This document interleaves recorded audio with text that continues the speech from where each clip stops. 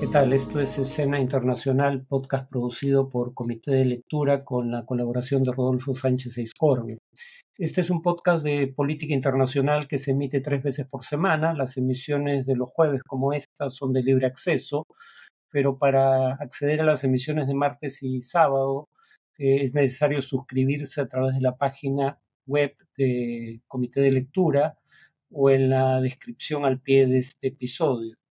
Eh, cuanto a las noticias de hoy, la primera, eh, hoy 2 de noviembre, eh, es que eh, el secretario general de la ONU, Antonio Guterres, condenó las muertes de civiles en ataques israelíes contra el campo de refugiados de Jabalía, en Gaza. El portavoz del secretario general de la ONU dijo que su jefe condena en los términos más fuertes los asesinatos de civiles, se trate de civiles de cualquier nacionalidad, ya que, añadió, no cuestiona el derecho de Israel a defenderse. Asimismo, el Comité de Derechos del Niño de la ONU, es decir, la UNICEF, advirtió en un comunicado que se están cometiendo graves violaciones de derechos humanos contra los niños de Gaza y que éstas están aumentando minuto a minuto, por lo que pidió un alto al fuego inmediato, agregando que no hay ganadores en una guerra en la que miles de niños mueren. Eh, Amnistía Internacional pidió además un embargo de armas a todas las partes del conflicto y Reporteros Sin Fronteras denunció por crímenes de guerra al ejército israelí fundamentalmente por ataques contra medios de comunicación y periodistas, pero también a Hamas por eh, asesinar a un periodista israelí que documentaba su ataque a un kibutz en ese país. Eh, por otro lado, el paso de Rafa, es decir, el paso entre Gaza y Egipto, volverá a abrir el 2 de noviembre para permitir la salida de heridos graves, ciudadanos extranjeros y gazatíes con doble nacionalidad. Em, el ministro de Asuntos Exteriores de Jordania indicó que ese país retiraba a su embajador de Tel Aviv hasta que, cito, Israel detenga su guerra en Gaza, pero no habló de una ruptura diplomática, cosa que sí hizo el gobierno de Bolivia. En América Latina, además de la ruptura de relaciones por parte de Bolivia, hubo llamado en consulta por los embajadores o de los embajadores por parte de los gobiernos de Colombia y Chile.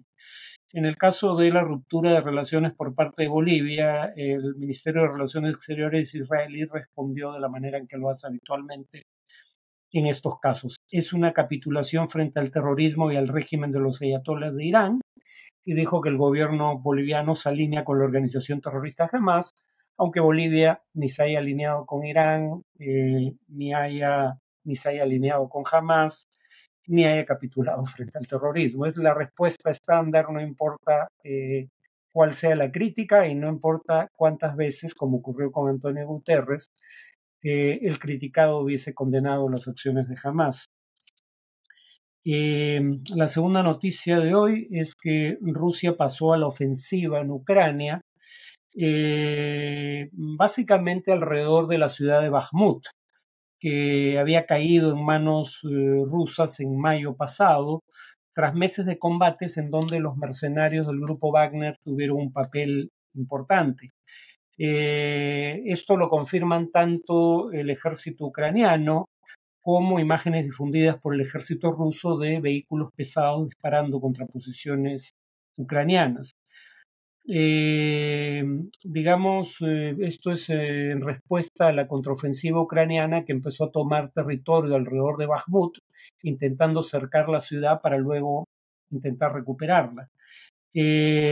pero, digamos, Rusia había empezado ya un contraataque contra la ciudad de Advitka, al suroeste de Bakhmut, em, y, estaba intentando cercar esa ciudad. Eh, ahora, sin embargo, la, contraofensiva rusa parece haber sido infructuosa hasta ahora, al menos, eh, y le ha costado un alto número de vidas. Eh, en Advitka, en todo caso, las fuerzas ucranianas se preparan para un tercer asalto ruso eh, para intentar, repito, capturar esa ciudad eh, al sureste de, de Bakhmut. Además, Ucrania ha revelado que en las últimas 24 horas se produjeron los mayores ataques rusos en lo que va de la guerra, con bombardeos en 118 localidades en 10 regiones. Según el Ministerio del Interior ucraniano Igor Klimenko, se trata del número más grande de ciudades y pueblos atacados desde el comienzo de la guerra por parte de Rusia. Finalmente, en Chile, el Consejo Constitucional aprobó la nueva constitución. El Consejo Constitucional es la asamblea de 50 consejeros elegido por voto popular en Chile que debía actuar sobre la base de un anteproyecto entregado por una comisión de expertos. Eh, la votación, como ocurrió en el proyecto presentado por la Asamblea Constituyente precedente, eh, fue una votación en donde izquierda y derecha votaron de manera diferente. No hubo intento de conciliar posiciones. Entonces, el nuevo proyecto fue aprobado por 33 votos a favor de, digamos, la derecha tradicional de Chile Vamos y la derecha radical del Partido Republicano y 17 votos en contra de las fuerzas del centro izquierda y de la izquierda oficialista, es decir, de grupos afines al presidente Boric, además del representante mapuche en el Consejo Constitucional. Em, el plebiscito de salida, como se le dan llamar en Chile, o sea, en el cual la población deberá decidir si aprueba o no el nuevo proyecto, será el 17 de diciembre. Las primeras encuestas no parecen augurar eh, un resultado favorable. Algunos artículos controvertidos son aquellos que, por ejemplo, indican que cualquier persona que ingrese de manera irregular, la ley, la Constitución dice, o el proyecto de Constitución dice, de forma clandestina o por pasos no habilitados, será expulsado en el menor tiempo posible.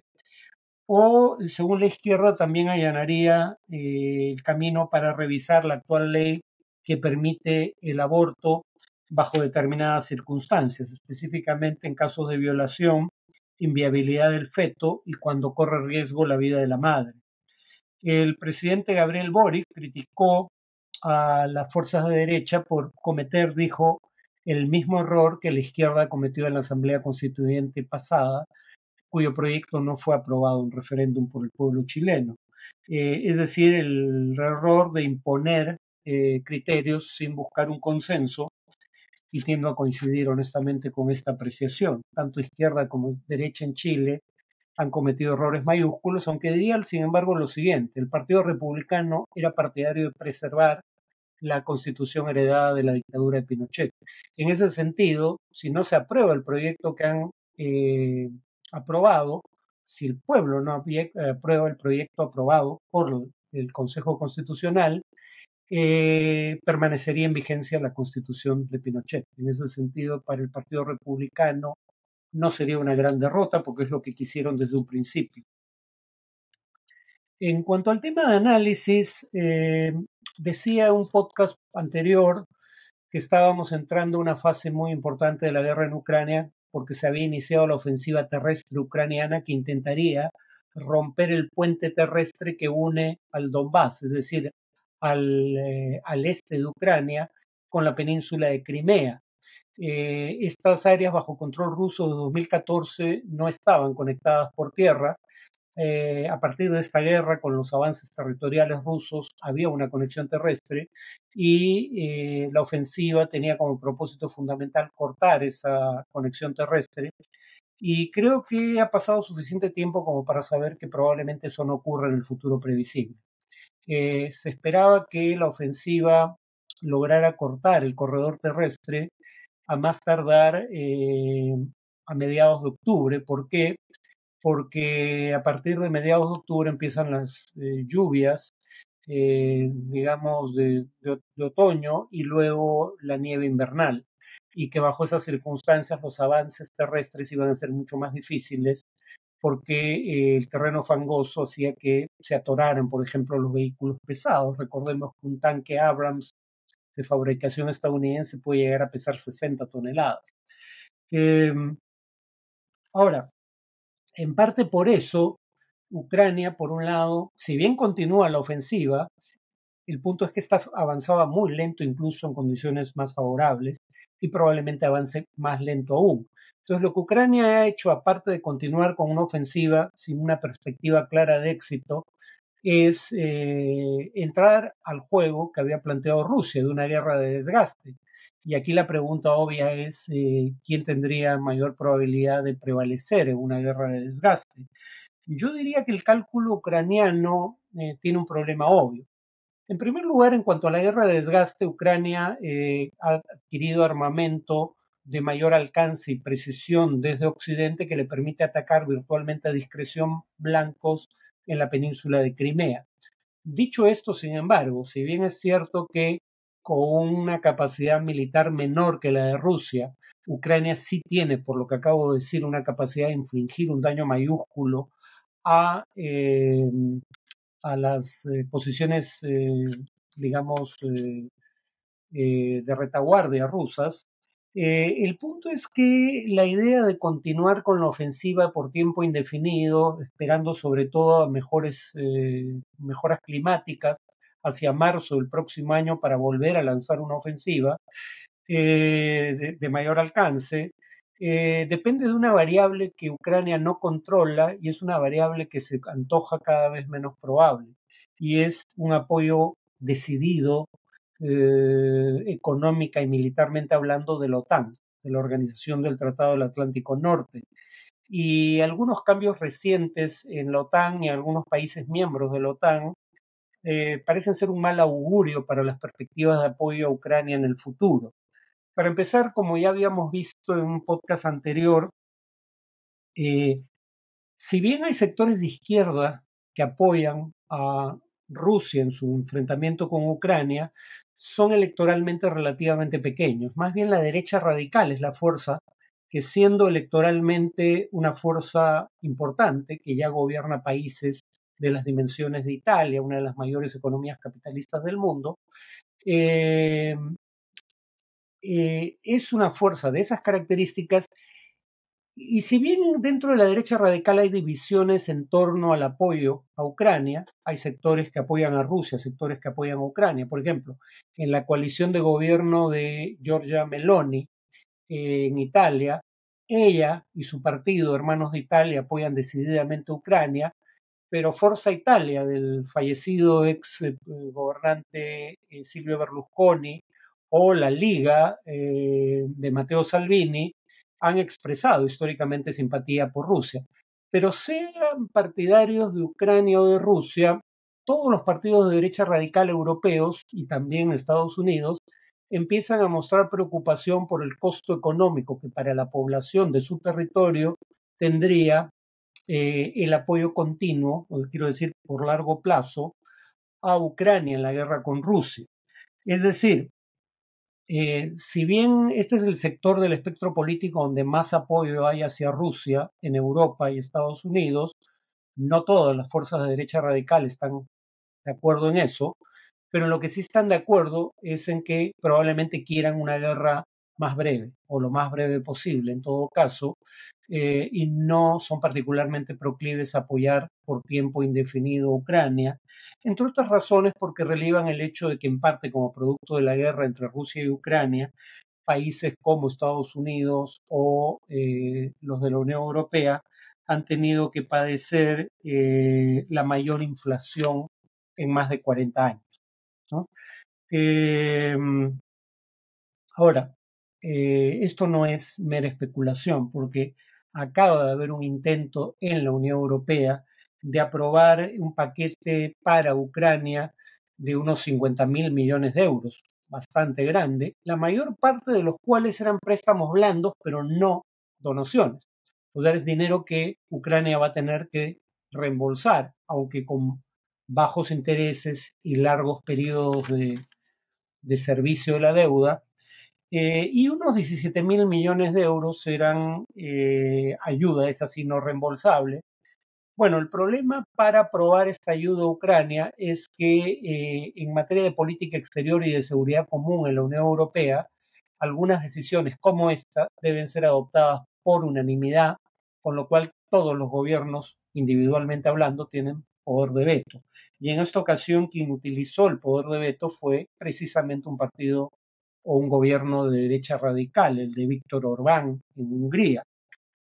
Eh, Y lo que ha pasado en la Unión Europea con el veto de Orbán al paquete de ayuda a largo plazo a Ucrania, eh, está pasando también en Estados Unidos con los principales precandidatos republicanos.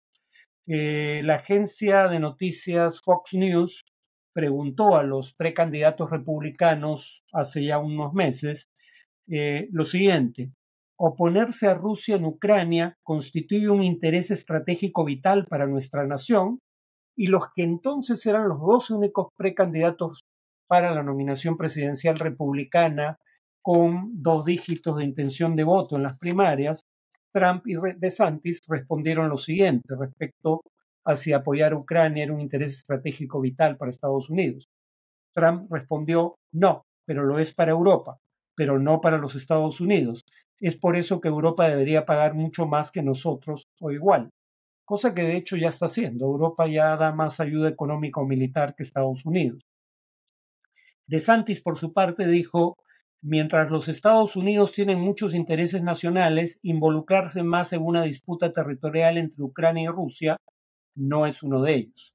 Entonces comprenderá el, oyente o televidente que eh, esto eh, envía señales preocupantes a Rusia, porque básicamente la señal que envía es que a Rusia le conviene prolongar mm, la guerra de desgaste en la que está inmersa con Ucrania, eh, porque en el caso que no puede descartarse en lo absoluto de que los republicanos lleguen al gobierno, salvo que fuera Nikki Haley, que acaba de experimentar una crecida significativa en su intención de voto, pero si fuera DeSantis o sobre todo Trump, que es el que tiene la primera opción para ganar la nominación, eh, los rusos podrían contar con que el apoyo a Ucrania empezaría a ser retaseado entre los países de la OTAN. Lo mismo si Orbán no da marcha atrás y, eh, sigue impidiendo eh, el paquete de ayuda a largo plazo, precisamente para enviar la señal contraria a Rusia. el, el mensaje a Rusia será nos conviene una guerra de desgaste porque el respaldo a Ucrania se está reduciendo y continuará reduciéndose en una dirección favorable a los intereses rusos. Prueba de que ese es el cálculo ruso son las siguientes declaraciones del canciller de ese país, Sergei Lavrov, eh, con las que concluyo. Los líderes occidentales repiten que respaldarán a Kiev, capital de Ucrania, por tanto tiempo como sea necesario. Dicho eso, los Estados Unidos no tienen el mejor récord cuando se trata de respaldar a sus aliados. Basta recordar el retiro abrupto de su ayuda militar a Vietnam del Sur en 1973 y al régimen de Ashraf Ghani en Afganistán en 2021. Esas acciones causaron la caída inmediata de los gobiernos leales a los Estados Unidos. Aunque esto último no es algo que quepa esperar en el caso de Ucrania, donde, a diferencia de esos casos, el presidente sí fue elegido en elecciones democráticas por el voto popular, Ghani ganó con fraude en realidad en Afganistán. En lo que no parece equivocarse Sergei Lavrov es en que eh, el apoyo de la OTAN a Ucrania podría eh, tener eh, un plazo de caducidad. ¿no? es todavía temprano para decir eso con certeza, pero me temo que es una probabilidad creciente eh, la que existe de que eso ocurra. Bueno, eso es todo por hoy. Nos vemos en el siguiente podcast.